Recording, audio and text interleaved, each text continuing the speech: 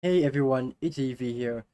So in this video, we're going to be talking about what we should do for a survival series. You want to see me do a slow-paced survival series or a fast-paced survival series where we take things slow and just enjoy playing Minecraft? Or do you want to see, oh I don't know, me, you know, I don't know, like try to beat the game as fast as fast as possible.